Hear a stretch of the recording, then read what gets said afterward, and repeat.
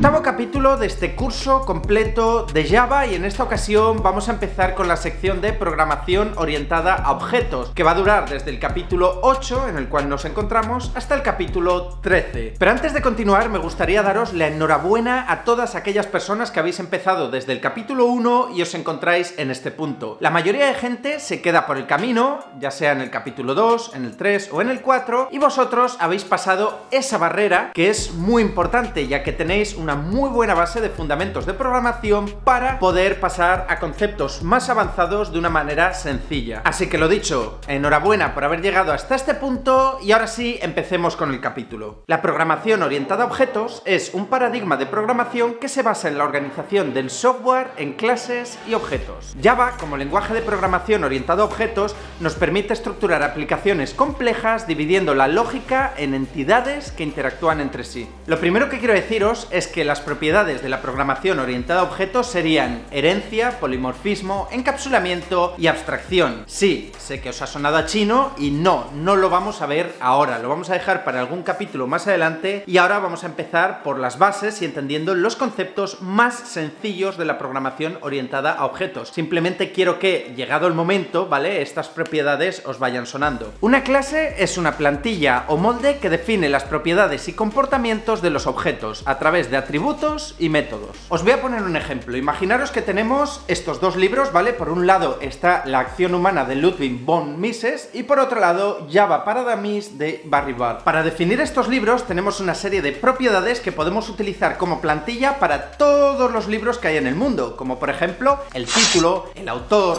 el número de páginas, el género, etcétera, etcétera, etcétera. Y aunque el valor de las propiedades de cada libro sea diferente, es verdad que no es lo mismo un libro de economía que un libro de programación, podemos tener diferentes plantillas o moldes que nos permitan pues clasificar los diferentes libros que podamos tener, ya sea por autor, por género, por título, por número de páginas. Podemos dividir la sintaxis de una clase en tres partes. Por un lado tenemos atributos, por otro lado tenemos constructor y por último tendríamos métodos. Los atributos ya hemos estado viendo lo que son, ¿no? Digamos que son una serie de propiedades que tiene la clase para luego poder darles un valor. Por otro lado, los métodos definen el comportamiento de nuestra clase. Por ejemplo, podemos tener un método que sea leer libro y en el momento que ejecutamos ese método, pues digamos que leemos el libro en cuestión, ¿vale? Y puede tener ese comportamiento, puede tener cualquier otro comportamiento. Y por último tendríamos constructores, que básicamente son métodos especiales que se utilizan para asignar valores a los atributos de objetos cuando instanciamos una clase. Esta definición, así ahora de entrada y sin vaselina, puede ser un poco complicada porque todavía no hemos explicado qué son los objetos, pero dejarla un momento en stand-by, ahora explicaremos lo que son los objetos y vamos a entender a la perfección que es un constructor. Un objeto es la instancia de una clase. ¿Qué quiere decir esto? Pues si habíamos definido las clases como un molde, ¿vale? Un objeto es cuando a ese molde ya le ponemos nombre y apellidos. Es decir, si teníamos la clase libro, ¿vale? El objeto sería un libro en cuestión, como por ejemplo la acción humana de Ludwig von Mises, ¿vale? Entonces ahí lo que haríamos sería instanciar una clase,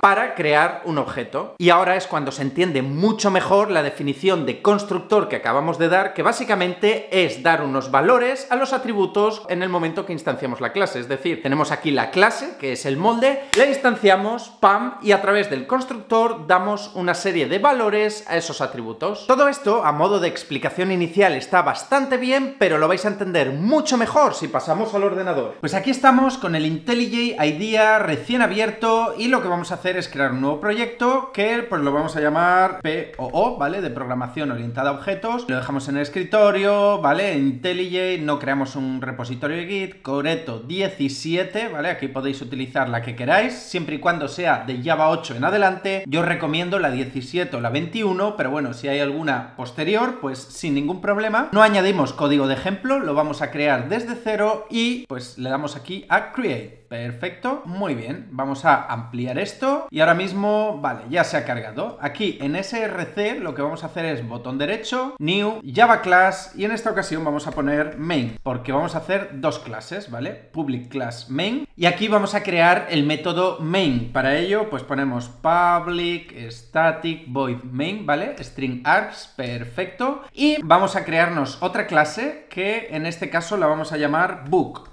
¿Vale? Ahí está. Y ahora vamos a empezar creando los atributos de esta clase. En primer lugar, pues vamos a poner, vamos a ponerlos en privado todos, ¿vale? Porque es buena práctica que los atributos estén en privado, aunque esto lo veremos más adelante. Private string title, perfecto. Autor, perfectísimo. Páginas, lo podemos dejar o no. Yo lo quitaría porque no sea tan, tan pesado. Podemos poner publication year, publication year. Por último, pues podríamos poner género, ¿no? Private, string, genre. Estos serían los atributos que lo podemos poner aquí en un comentario. Los comentarios, bueno, los dejo ahí en español, aunque el código lo estoy poniendo en inglés, pero básicamente para que nos entendamos. Aquí vamos a poner el constructor y debajo pues vamos a poner métodos. Un constructor es un método especial que lleva el mismo nombre de la clase, o sea que en este caso vamos a poner public book y aquí ya pues me viene con unos parámetros que son el título, el autor, el año de publicación y el género, ¿vale? Que sería esto de aquí. Y ahora pues tenemos que otorgarlos el valor de lo de arriba. Aquí lo que estamos diciendo es que cuando se instancie esta clase, ya veremos ahora cómo se instancia una clase, poco a poco, pues tengamos que definir estas propiedades, estos valores, y ahora lo que haremos será igualarlo a esto. Entonces vamos a poner this.title es igual a title, this.autor es igual a autor, this.publication year es igual a publication year y this.genre es igual a genre. Aquí ya pues estamos igualando lo que definamos aquí como parámetros del constructor a lo que vienen siendo los atributos de la clase. Estamos dando valor a los atributos. Os voy a decir una cosa y es que puede haber más de un constructor, ¿vale? Esto se llama sobrecarga de constructores. Por ejemplo, se utiliza para cuando no queramos definir todas las propiedades o simplemente no queramos definir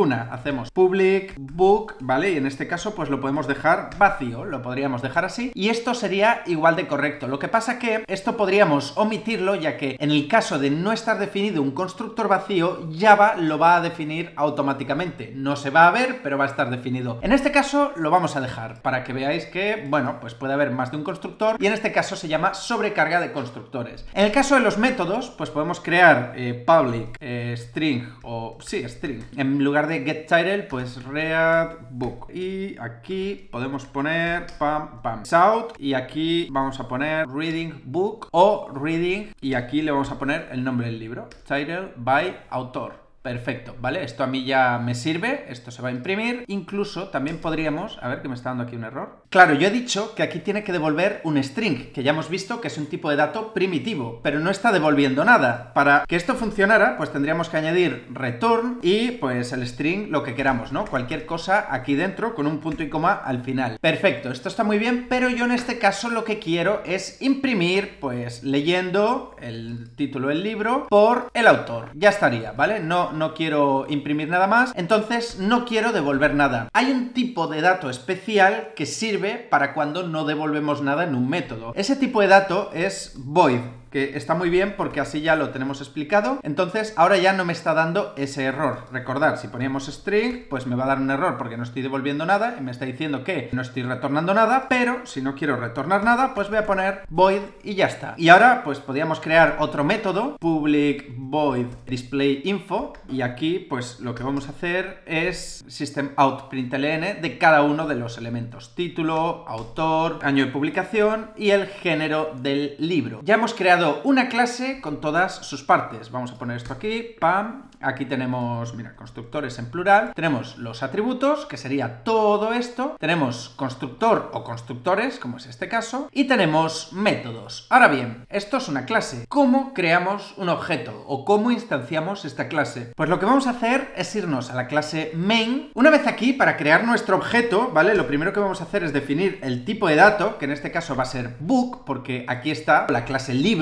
entonces habíamos dicho que existen dos tipos de dato en Java, primitivos y objetos. Pues en este caso es un objeto y aquí podemos poner la acción humana. Vamos a poner es igual a new y vamos a poner book, que aquí lo que estamos haciendo es instanciarlo. Bien, esto nos lo está dando como bien, pero podemos definir ya las propiedades dentro de estos paréntesis, porque claro, esto nos lo está dando como bien porque tenemos dos constructores, ¿vale? Uno vacío y otro con las propiedades. Entonces podemos definir ya el título, el autor, el año de publicación y el género. Pues vamos a ello. El título, pues la acción humana, autor Ludwig von Mises, que habíamos puesto, el año, no me lo sé de memoria, me lo voy a inventar, 1969, por ejemplo, y el género, ¿vale? En este caso sería economía. Aquí me está dando un error porque me está diciendo que se esperaban cero, pero tenemos cuatro. Llevo un rato pensando en qué puede estar pasando, porque esto está correcto y la clase libro también, y me está dando un error, diciendo que pues esperan cero argumentos, pero le estoy pasando cuatro, ¿vale? Y esto pues no es correcto y lo que estaba pasando es que he importado un libro que no era, ¿vale? Aquí pues no hace falta importar nada porque se encuentran dentro del mismo paquete, que en este caso es SRC, y como veis pues ahora mismo está funcionando a la perfección, ¿vale? Aquí ya me está diciendo que este es el título, el autor, el año de publicación,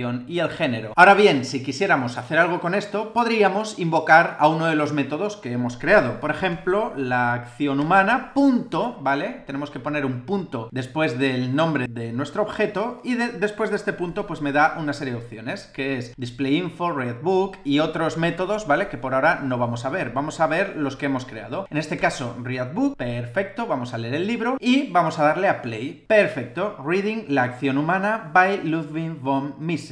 Perfectísimo, muy bien. Ahora podemos llamar al otro método. En lugar de readbook, pues lo que vamos a hacer es llamar al de displayInfo. DisplayInfo, venimos aquí, ejecutamos y... ¡Voilà! Aquí tenemos, ¿vale? El título es La acción humana, autor Ludwig von Mises, año de publicación 1969 y género economía. Ahora bien, hemos dicho que una clase es como una plantilla o un molde y de ese molde podemos crear infinitos libros, así que vamos a crearnos otro libro, Book Java for Dummies. Lo tengo aquí, no, no me acordaba si era con una M o con dos, entonces pues lo voy leyendo. Y ahora sí, pues hacemos lo mismo, instanciamos New Book, y lo que vamos a hacer, bueno, primero un punto y coma aquí. Voy a cerrar esto para que se vea mejor, se vea entero pues todos los parámetros que le estamos pasando. Y aquí pues vamos a poner el título, eh, Java for Dummies, eh, lo tengo en inglés, el de la acción humana lo tengo en castellano y este en inglés, así que pues lo voy a poner tal cual. El autor es Barry Bard, el año, pues mirad, si me pongo aquí a mirarlo,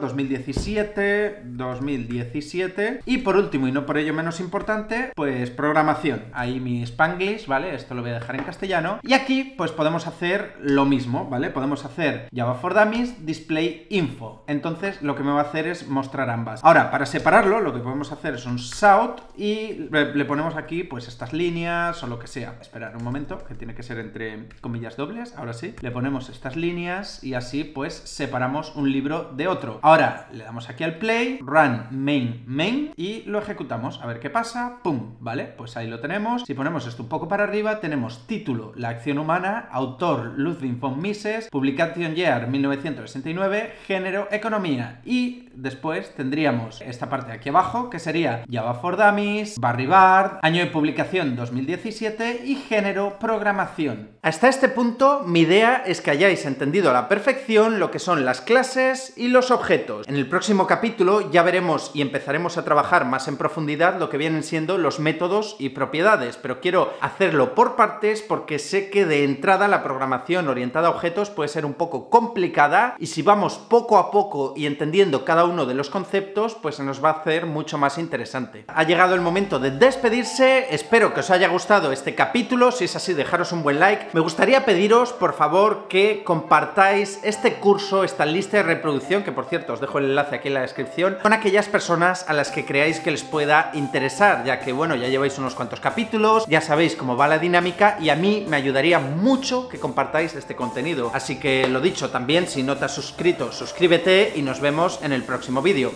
Un besazo.